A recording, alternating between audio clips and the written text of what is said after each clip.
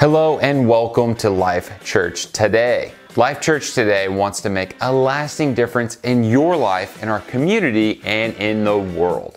Our mission is to lead people to become fully devoted followers of Jesus Christ. That's how Life Church Today is able to make a difference in the lives of so many people, and it's the motivating dynamic behind everything that we do. You see, church isn't merely a building, it's the people. So we aim to bring church to you. We meet around the globe online and in physical locations throughout America. No matter how and where you join Life Church today, you will find friendly people who are excited to get to know you as you become part of the Life Church family. And wherever you are in life, you matter to God and you have a purpose to fulfill. Life Church today wants to help you become the person God has created you to be. Every journey, including yours, has a next phase and we'll help you discover it.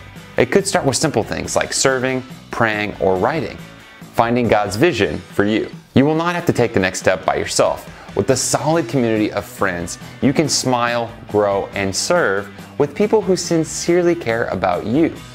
Enjoy the sermons, read the devotions, reach out and contact us. We respond to every single person who writes us, or find a group to join you on your faith journey.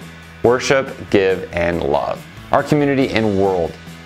We are excited about serving the world's community and offering God's love to people of all backgrounds, whether online, in person, individually, or in groups, within our church and around the globe we are focused on supporting and engaging in relationships that provide assistance and restoration to the hurting world. Our caring leadership team, including lead pastor Mike Robinson, works together to shape the vision and direction of Life Church today. Pastor Robinson, author of 40 books, serves with a team of enthusiastic and educated ministers using their numerous years' experience. They aim to serve you and your whole family. Visit lifechurchtoday.com.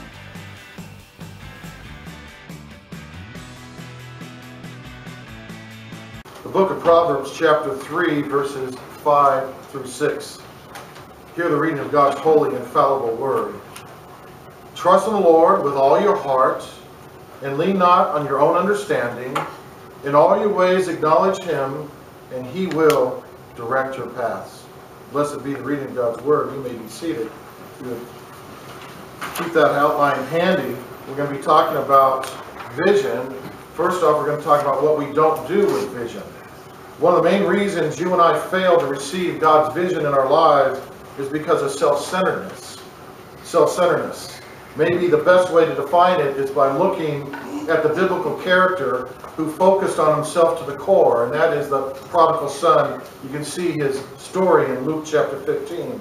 Most of us know him as a prodigal son, but another name could be called Mr. Self-Centeredness. Here's a young man who apparently grew up in a stable home under the direction of a wise and godly father. He also had a brother who was a straight arrow and minded his own business. But he didn't have a bad life, yet one day he started to hear some voices from inside himself, and he became aware of an emerging vision or desires, a series of desires taking root in his heart, a vision for money, women, and the freedom of the flesh.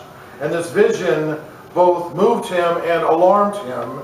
And this was the dream that he had of complete and total freedom that was taking over his soul, and you can see that in Luke 15. The spiritual coup led by his flesh and the enemy because he lacked a God-given vision for his life and the voice in the deep recesses would whisper to him, Why do you put up with all this authority and structure in your life? Yes, Father. No, Father. Anything you say, Father, I'll get right on it, Father. The her voice would say, Why do you put up with all that? And why do you comply with your brother's requests? You don't respect him or your father. The voice would say, Your father and your brother, they're cramping your style. Why do you put up with them? And why do you keep breaking your back for the family business? Why do you toil for them? There's faster money to be made elsewhere. Take a few shortcuts and find it. Now, at first, when the prodigal heard these voices, it bothered him, and some of the ideas sounded deeply self-centered and a bit evil, but over and over the voice would say, Who's in control of your life? What vision do you have of your life from yourself?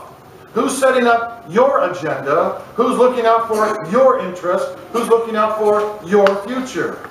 The voice would say, Don't be dumb enough to say your father or your brother. Don't rely on them. They're just like everyone else, looking for and after their own interest. The voice would say, When are you going to wake up and hear the bell? And get a grip on doing your thing your way and not other people's way. The voice would say, the only way you're going to live life to the fullest is by taking control yourself, by setting your own agenda, by taking the reins yourself, by being the captain of your own ship and pursuing your own self-centered vision for your life. It's time to make some things happen the way that you want them to happen.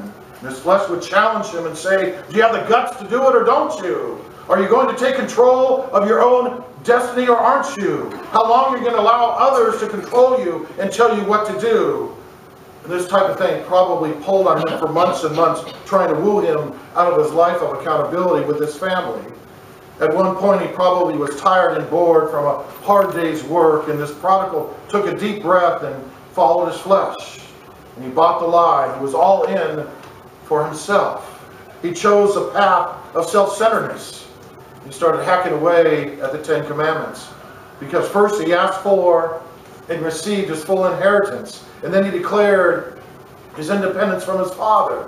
Then he left his home and all of its comforts and the security of the family business and headed for the big city and the bright lights and wine, women, and song. And his wallet was full and stuffed with Benjamins.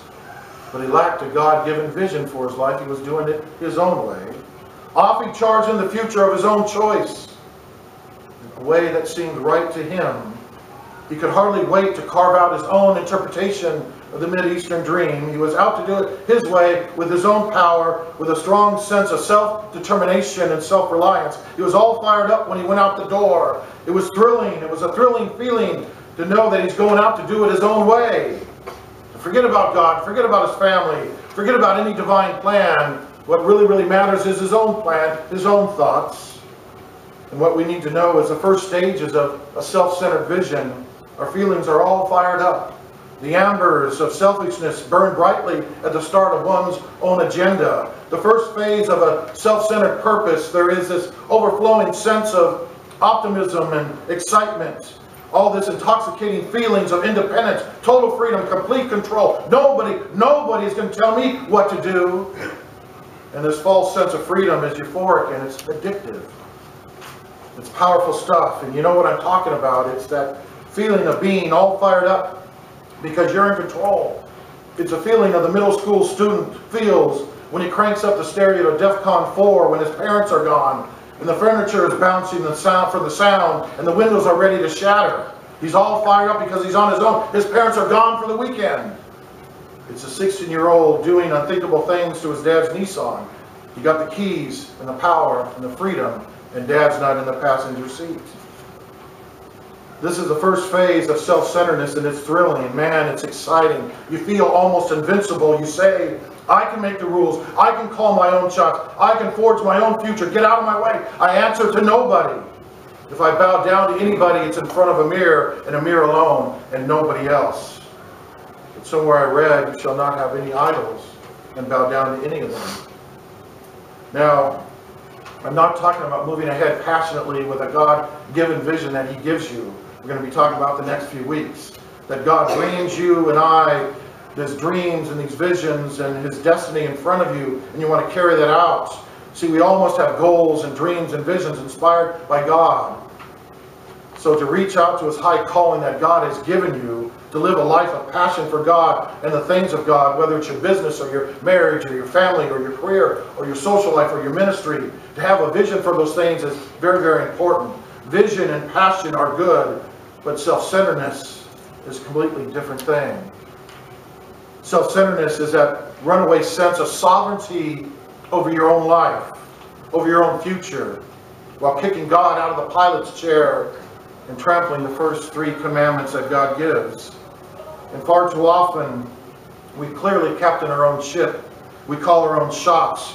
We make our own plans without ever consulting the one who holds our future in his hands, and that's God. The one who knows all and knows us better than we know ourselves. God who has a divine purpose for you, for you. It goes all the way back to Adam and Eve. I don't want God's will. I don't want His program. I want my agenda and nothing else. So the first phase of self-centeredness is euphoric. It's pleasurable. But you can see on your outline in Proverbs 14:12, it says this.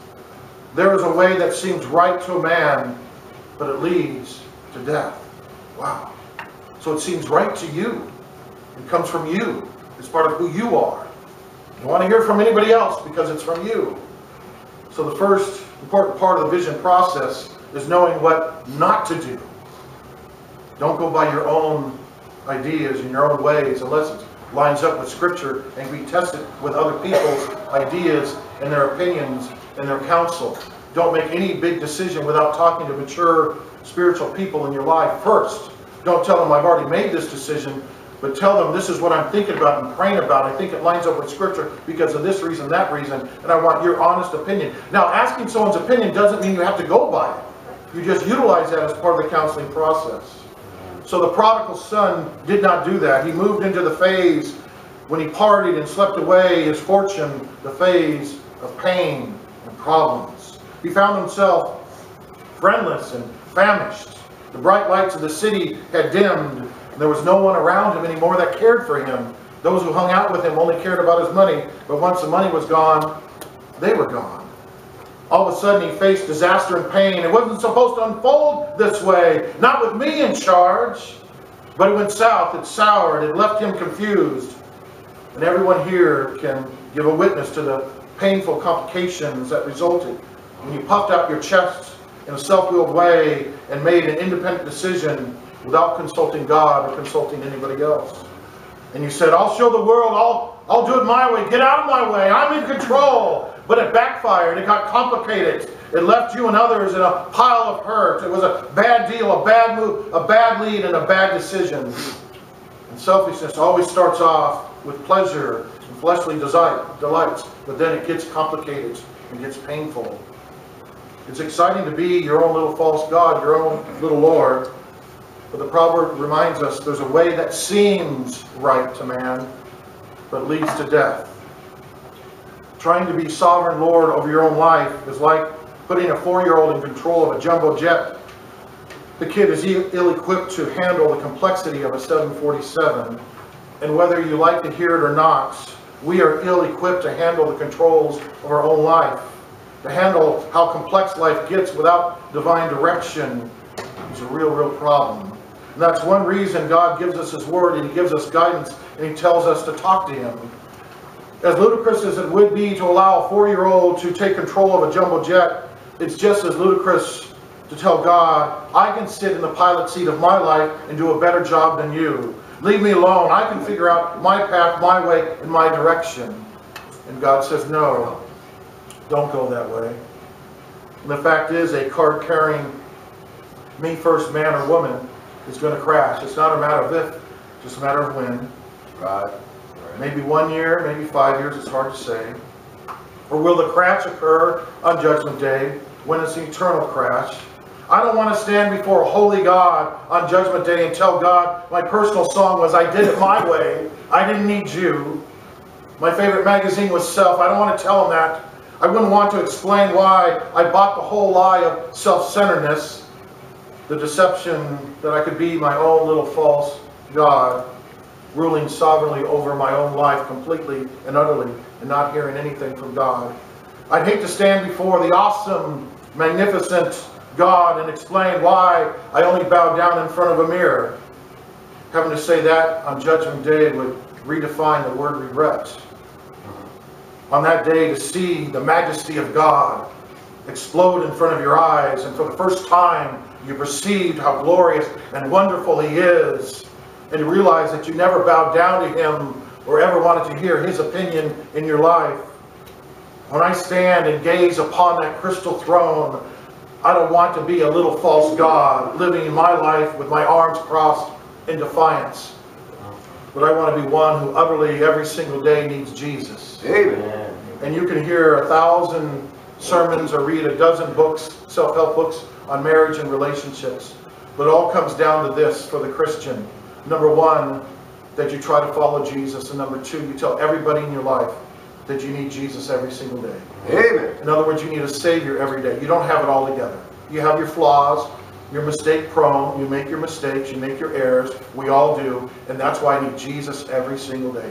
If you can communicate that to your children and to those you love, they'll start seeing Jesus more and more in your life instead of this false idea that, well, I got it together. I'm a really religious person. And look at me, how holy I am. No, no, no, no. You need Jesus every day. Follow him, but make sure everybody around you knows you know you don't have it together. But you know the one who has it completely together, and that's Jesus. It's that simple. With all your relationships, Uh, if you can imprint that in your relationships, you're going to see things grow and grow. You're going to have a whole list of things to do, and a lot of them are good. A lot of them are pulled from the Bible. But if it doesn't have that, it's going to lead to destruction. Self-centeredness promises a kind of simplicity. It says you don't have to get all involved in what God says. It doesn't matter if it's right with your kids or with your family or with your pastor or those that are in your life that have spiritual maturity. It doesn't matter what they say. Do it your own way. See, this promise of simplicity, no relational entanglements with God, nobody cramping your style. But that false promise of freedom eventually translates into isolation and intense loneliness and then bondage and then destruction.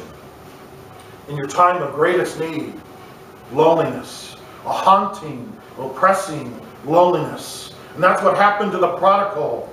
Here in this story, he ran out of money. His rented friends left. He realized that he already burned all the bridges with his family. And so now, in his time of greatest need, he sits in a pile of rubble all alone with nobody there around him who cares. Sitting in the muck and the mire with the mud, blood, and the pain on his face, all alone. And that's what self-rule leads to.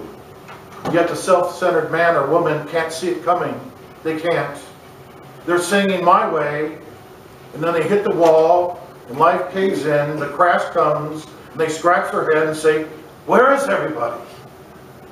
The classic line of the self-centered person is, how come no one is here for me? What about me? Where is God? Where did God go? Where did everybody go? The Bible says if you live unto yourself, if you bow in front of your own mirror, and you blow off your earthly relationships and your heavenly relationships, your life takes a tragic turn, and you suffer, and you're immersed in pain and trouble and heartache.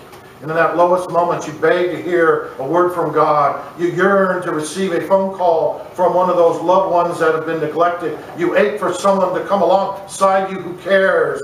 And all you will experience in the mud and the murk and the mire is sense around silence. Silence will be deafening. It's a price the self-centered man or woman pays. Now the final phase of the self-centered life is the decision phase. After the way that seemed right unto you, after the way that seemed right unto the master of the universe comes crashing down, and the future loses its luster, life unravels, the wheels start falling off, and you're at the lowest because the way was wrong, and now it's decision time. Some people are so hardcore that they will dress their wounds as best they can. They will bow down again in front of the mirror. They will roll up their sleeves and formulate a brand new, self-centered, independent plan and try to do it again their way. But some of the most spiritually ragged will do a cost assessment instead. They will reach the decision phase and they will be like the prodigal that says he came to himself. He came to his senses is what that means. They will reconsider, they'll reconsider everything and the prodigal comes to his senses and he understands that doing it his way was the problem. The prodigal saw himself for who he really was, a set my own agenda, a card-carrying, self-centered island of independence, ruling over a kingdom of one, unwilling to yield to any authority but himself. And so the prodigal looked into the mirror one more time and cried, I'm done bowing down to you. You're not omniscient and you're not even particularly wise. In fact, you're downright dangerous. Until you and I understand how dangerous we are without going by God's Word and God and those He's placed in our lives around us, you're in for some more and more pain that's unnecessary. He said, I'm done bowing down to you. and my own reflection. I'm done fulfilling my own selfish ambition. I want God's purpose for my life, my marriage, my future.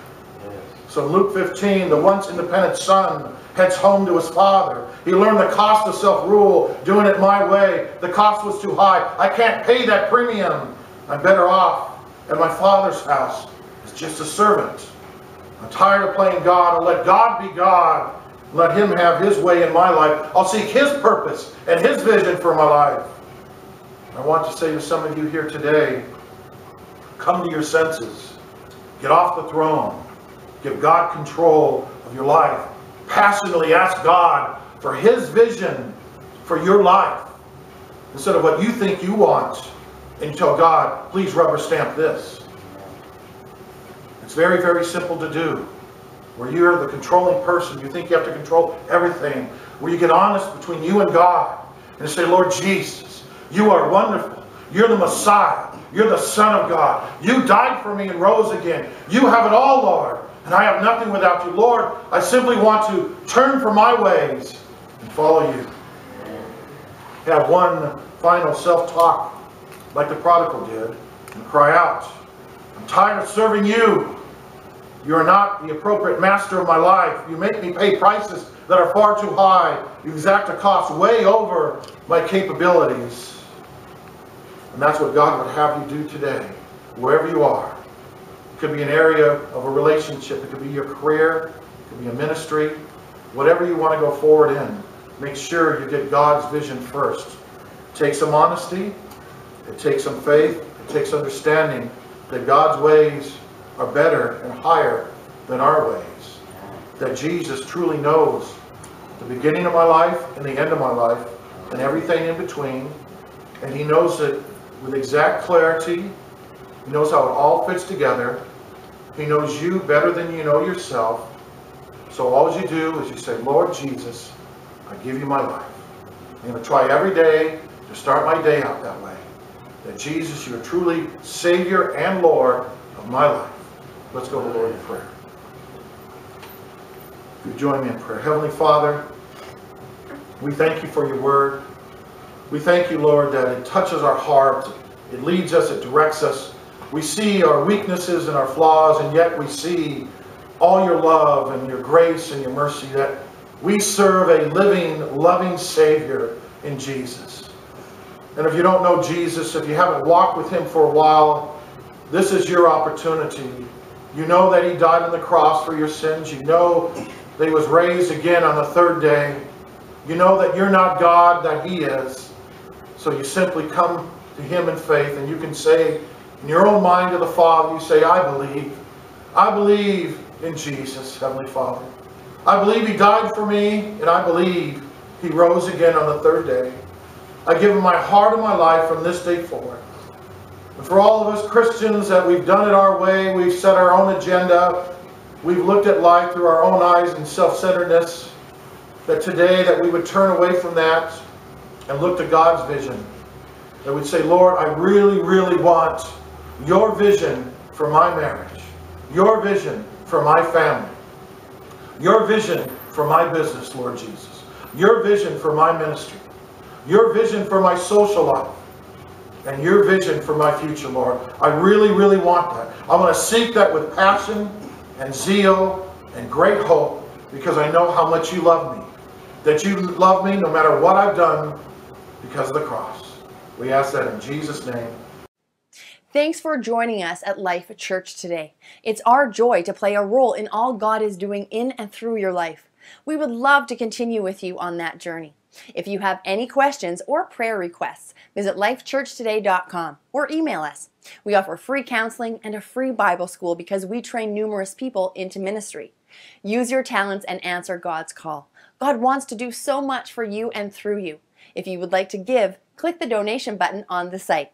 Pastor Robinson's 40 books are on Amazon.